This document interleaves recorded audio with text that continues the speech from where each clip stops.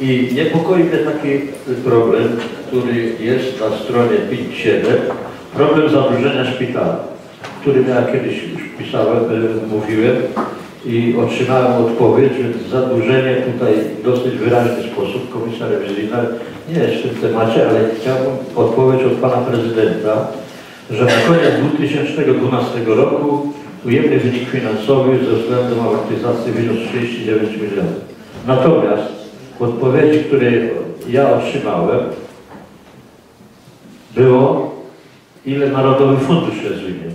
I powtórzę, w 2010 roku 12 milionów 92 tysiące, w 2011 20 milionów, w 2012 15. Jak to się ma do zadłużenia w stosunku, jeżeli Państwo Narodowy Fundusz jest winien tyle szpitalowi? Dziękuję. Szczerze, trzeba się rozwinąć. Amortyzacja to jest odpis amortyzacyjny i ona bezpośrednio nie wpływa na wynik finansowy. Niemniej jest kosztem, jest pokazywana w zestawieniu w bilansie. Ona była na 2012. Na 2013 będzie znacznie wyższa, bośmy zakupili sporo sprzętu medycznego i odpisy amortyzacyjne będą jeszcze większe.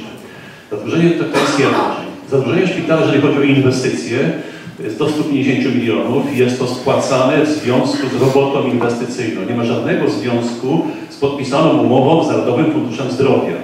Wynik szpitala, jeżeli chodzi o działalność bezpośrednią, bieżącą, związaną z leczeniem w oparciu o podpisane umowy jest dodatni. Dodatni wynik, ale są nam z tego wyniku winien jest nam Narodowy Fundusz Zdrowia tyle i tyle pieniędzy. Nie płacą nam na czas nadwykonań. Z urzędu pan dyrektor po jakimś czasie ma procedury, odwołuje się do sądów i tam są procedury sądowe. My te nadwykonania odzyskujemy, ale po czasie.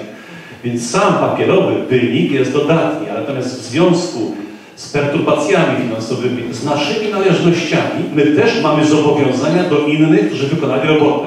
Ale summa summarum, wynik na działalności bieżącej dodatni.